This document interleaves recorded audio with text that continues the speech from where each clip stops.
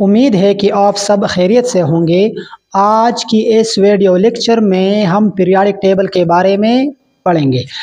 तो इंसान की फितरत में ये बात मौजूद है कि जब भी वो कोई चीज़ डिस्कवर करता है तो उसको एक एक प्रॉपर तरीके से अरेंज करता है, एक प्रॉपर तरीके से रखता है। बिल्कुल इसी तरह जब साइंसदानों ने एलिमेंट्स डिस्कवर किए एलिमेंट्स के बारे में जान गए तो बहुत से साइंसदानों ने फिर उन एलिमेंट्स को अरेंज करना शुरू किया। और बहुत से साइंसदानों में अरेंजमेंट ऑफ़ एलिमेंट्स में अपनी जहानत का लोहा मनवाया।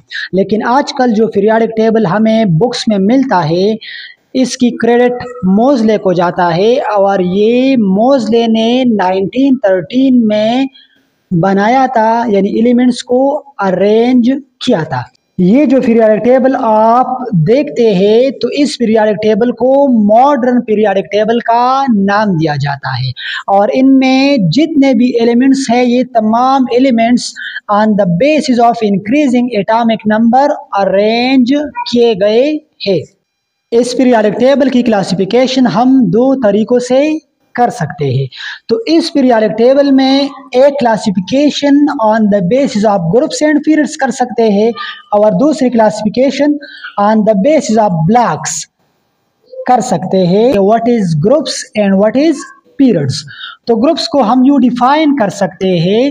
The vertical columns present in the periodic table अगर हम इस पीरियोडिक टेबल को देखें तो यहाँ पर ये जो वर्टिकल कॉलम आपको नज़र आ रहा है, जिसमें hydrogen lithium sodium potassium rubidium caesium और फ्रांसियम तो ये एक वर्टिकल कॉलम है और इसको हम पीरियोडिक टेबल में एक ग्रुप कहते हैं। इसी तरह ये सेकंड वर्टिकल कॉलम है और इसको दूसरा ग्रुप कहते हैं। इसी तरह ये तीसरा कॉलम चौथा कॉलम पांचवा कॉलम, और अगर, अब अगर हम इन तमाम कॉलम्स को काउंट करें तो इस पीरियाडिक टेबल में तकरीबन 18 कॉलम्स होते हैं। लिहाजा there are 18 groups in the periodic table according to the new IUPAC proposal old proposal में ये जो 18 ग्रुप्स अभी मैंने कहा तो ओल्ड प्रपोजल में इन 18 ग्रुप्स को दो कैटेगरीज में डिवाइड किया गया था। जिसमें एक कैटेगरी को नाम दिया गया था ए ग्रुप्स और दूसरे कैटेगरी को नाम दिया, नाम दिया गया था बी ग्रुप्स तो ए ग्रुप्स में फर्दर एट ग्रुप्स होते थे और बी ग्रुप्स में फर्दर टेन ग्रुप्स होते हैं तो फिर भी as a whole periodic table में एटीन ग्रुप्स बनते हैं। इसी तरह पीरियाडिक टेबल में एक होते हैं पीरियड्स तो what is periods the horizontal rows in the periodic table are called periods for example आप यहाँ पर देख सकते हैं कि ये एक हॉरिजेंटल रो है, जिसमें हाइड्रोजन और हीलियम मौजूद है तो ये एक पीरियड हुआ। ये दूसरी हॉरिजेंटल रो है जिसमें lithium beryllium boron carbon nitrogen oxygen fluorine और नियान है। तो ये दूसरी हॉरिजेंटल रो हो गई। इसी तरह तीसरी हॉरिजेंटल रो में sodium magnesium aluminium silicon phosphorus sulphur chlorine और अर्गान आते हैं। तो लिहाजा on the basis of horizontal rows periodic table को सेवन रोज में डिवाइड किया गया है।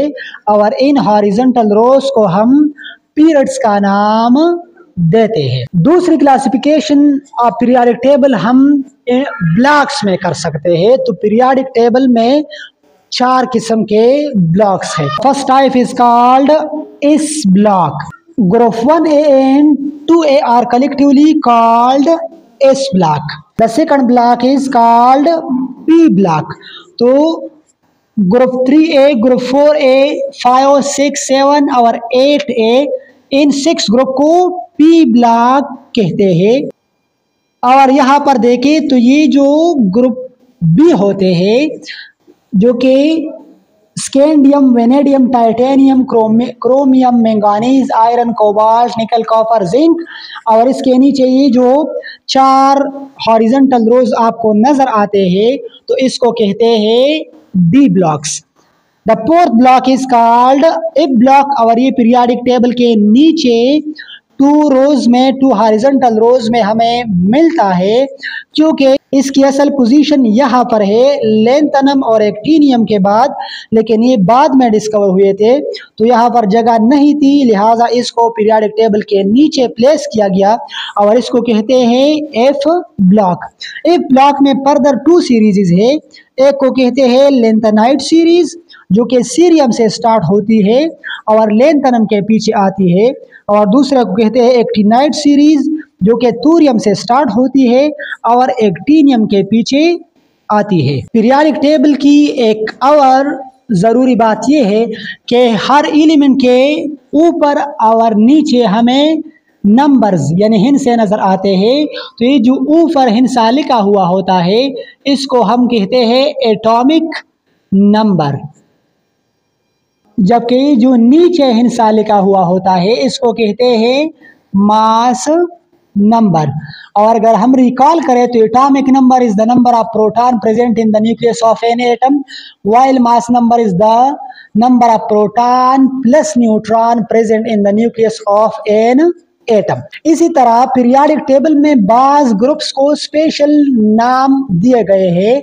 For example group one A is called alkali metals यानी ग्रुप वन ए को अलकली मेटल का नाम देते हैं। हाइड्रोजन के अलावा ये जितने भी ग्रुप वन ए एलिमेंट्स है तो इन सबको क्या कहते हैं? इन सबको कहते हैं अल्कली मेटल्स दूसरे ग्रुप को भी स्पेशल नाम दिया गया है।